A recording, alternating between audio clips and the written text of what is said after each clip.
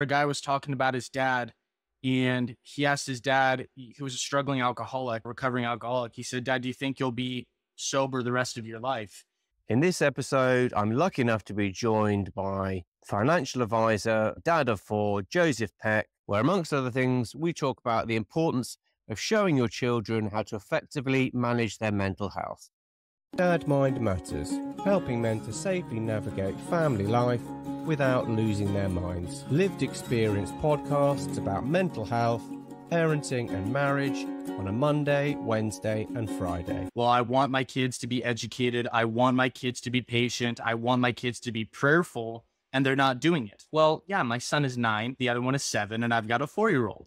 But if I instill these habits that we pray before bedtime, we pray when we wake up, we read books before bed, we don't watch TV, I teach my kids that you need to be exercising. It helps not just your physical, but it helps your mental capabilities. He could be in very good shape and he could be very successful, and he won't necessarily have a lot of uh, mental health issues when yeah. he's in his 20s if he does these things and stays with these habits, right? So the payoff is in the long term like keeping them consistent as we're young that's and, and early on that's where the success lies. Yeah I, I, agree with you and actually you, you you touched on mental health and a lot of the podcast content i talk about is around trying to support other dads with their mental health. I've struggled with depression for years i've got ocd so for me is an ongoing and i have five musts of things i do every day which actually do help me get through the day whether it be a cold shower whether it be uh, uh saying a prayer whether it be meditation and, and my children are interested. They're like, why do you do those things? And I, I, I said, because it just keeps me on the right track. I do it every right. day. It's five things that happen every day. And something I, I, I learned from saying a prayer before I go to bed, just thankful, grateful for what I have in my life. And 10 things. And the first four are my wife, my three children, the fact that we've got a roof over our head, the fact there's food in the fridge. It's amazing when you think, actually, I just suddenly feel a lot happier and a lot more grateful that those right. 10 things that you can very easily take for granted, not everyone has that stuff.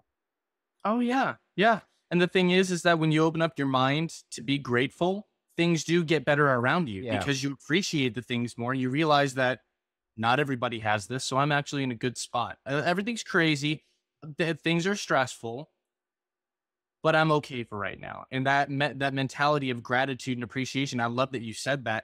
That really does help for, from like a mental health standpoint. And those those small like five musts that you have, I think so many people will look at that and say, well, when my child asks me, why do I go that? Why do I go on a run when I'm done?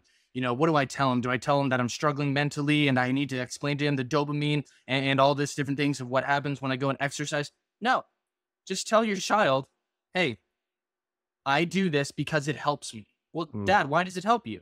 It helps me be a better father and it helps me be a better person to lead the family and to be in your life. Well, how does it do that? You'll understand when you're older. I know you don't want to hear that, but why don't you give it a shot? You're upset, you're frustrated with homework. Go go run around outside for a little bit. Come yeah. back in 2 minutes, see how you feel, right? You don't need to get into the weeds and explain to them exactly how everything helps you, how the cold shower affects all the chemicals in your brain, and how the gratitude really helps you open up your mind. Kids aren't going to understand that, but they will see that you're doing it. And then when they're older, they're going to have these habits that they saw you do, and they're going to realize, oh, I-, I get why dad was doing this. I get why mom was doing this. Yeah, I think if you raise your children to be functioning, positive, helpful adults, you've done it. You've succeeded. Right. I think there's so much that I definitely remember. My parents always worked, even at the weekends. For example, I was saying earlier, painting the deck or just gen, just doing a lot of the stuff that you can do yourself. Because not only is it saving you money, but you feel good about looking after yourself. And I think obviously a lot of people who struggle with mental health, the idea of being grateful for anything can sometimes feel like, oh, I just it, it's a sugar coated throwaway comment, but actually, it annoyingly does work. It really does work. Yeah. Sometimes when I feel like I can't bother to do some of the stuff I know I've got to do, I try and reframe it that I get to do it. I don't have to do it. It's like I get to do this. There are a lot of people who don't get to get up and go and have a job, but would give their right arm to have a job. I get to do this, and that just changes the perspective of actually you're you're pretty lucky yeah, and see, I, I think one of the things that is often discounted is productivity.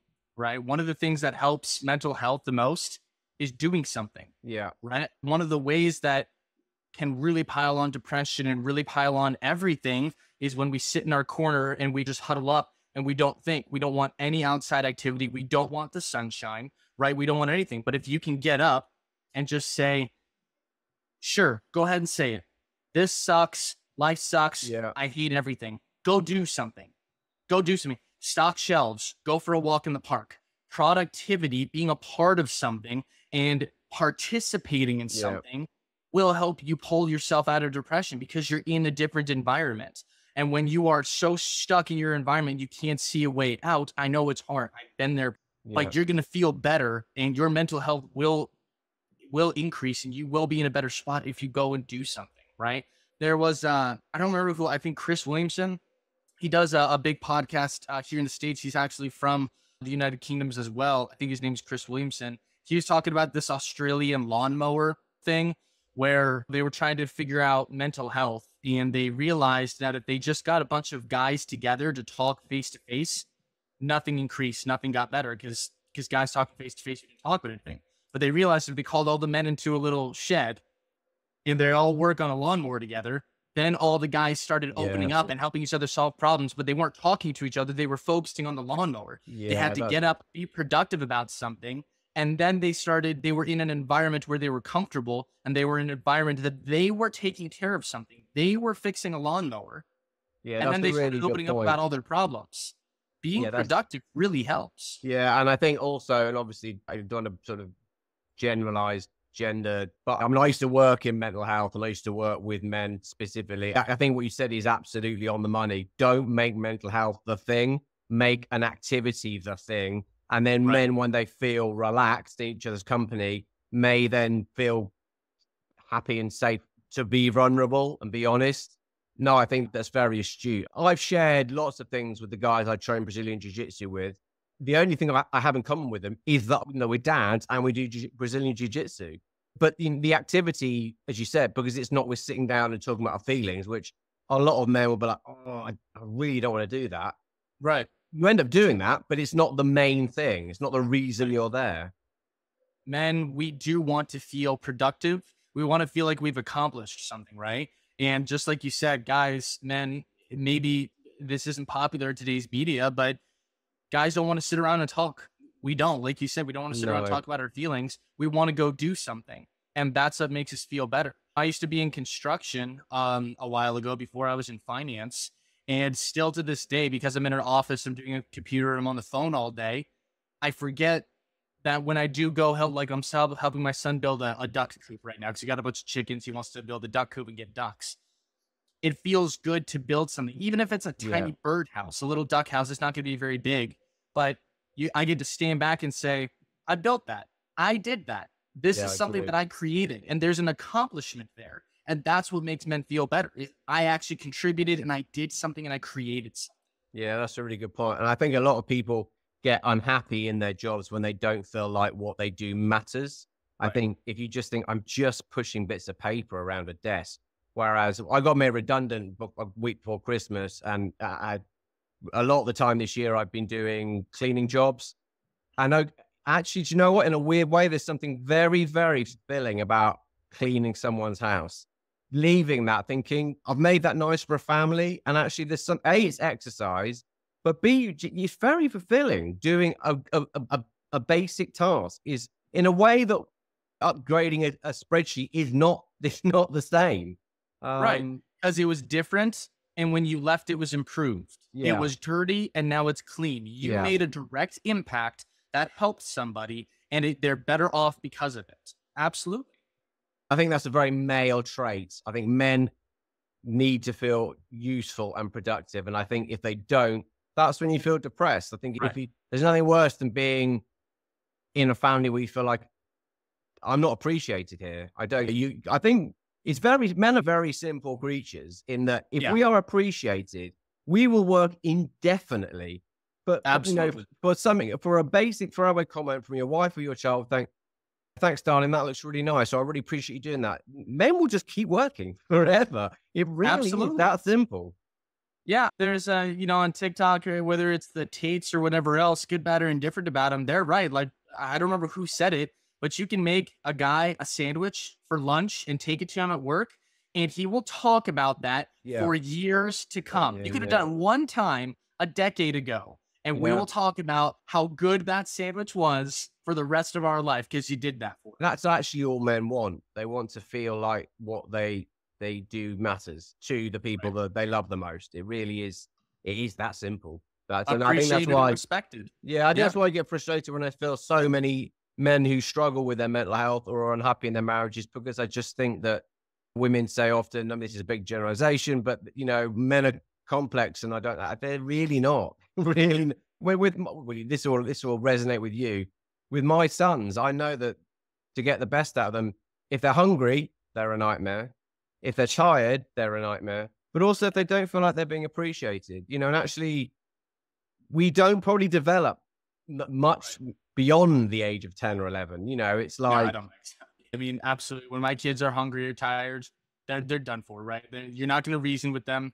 And it, it was funny when I was in high school, and it's still this way to this day. You know, my wife, uh, when I'm when I'm snappy a little bit, she she looks at me, she goes, "What did you eat today?" Yeah, and I go, I go, I haven't had anything to eat today. She goes, go get something to eat right now, or I'm making you something. right now, I haven't, like I haven't developed that past the age of twelve. Well, it sounds like and I don't care because you know? she knows you. So that's that's yeah. I often get sent off to jujitsu when I'm yes quiet or grumpy. I feel very grateful to have that person in my life who actually knows me better than I know myself sometimes. Um, Absolutely, you know, and I think that that's something to touch on too. Is that a supportive, healthy community, right? A lot of times when we're talking about mental mental health or anybody's mental health if you don't have a supportive healthy community around you and a community can be one or two people. Like you said your wife who knows you better than yourself. My myself too. My wife knows me better than i know myself. If you don't have that support system that it does make it that much easier. And, and if somebody's listening to this and saying well i'm not worth it and i don't have anything like it so screw this there are avenues out there. It can be a church, it can be a faith, it can be a library, it can be a book club, it can be Brazilian Jiu Jitsu, it can be an archery club. Find what you like to do, go expose yourself to that. Make sure it's a healthy environment, and, and you'll know a healthy versus unhealthy environment just by walking in and talking to a few people.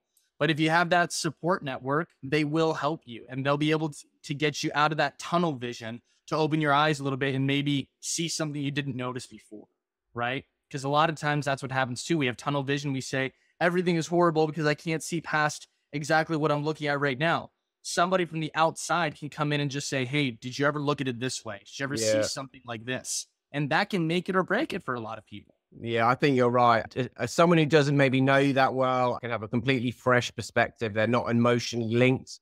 Anyone who's struggling with their mental health, never underestimate that you could be the light at the end of the tunnel for someone else. Go to your local church, go to your local club, just get involved. Sometimes it literally is about if the next day is too overwhelming, just get through the next five minutes. Literally yep. one one foot in front of the other. That's all you've got to do sometimes. Yeah, I was listening to another another clip. I remember who it was. I obviously I watch too much social media. Sorry about that. but uh, th- there was another clip where a guy was talking about his dad and he asked his dad, he was a struggling alcoholic, recovering alcoholic. He said, Dad, do you think you'll be sober the rest of your life? And his dad said, I don't know, but I'll be sober today. Nice. You know what? What a simple but powerful statement, right? Yeah. No, I, am not. I, I don't know about next week. I don't know about next month or next year, but I'm not going to quit my job today. And if you're struggling that much with something that dark and you're saying, maybe I'm just going to end it all, it starts with just not today.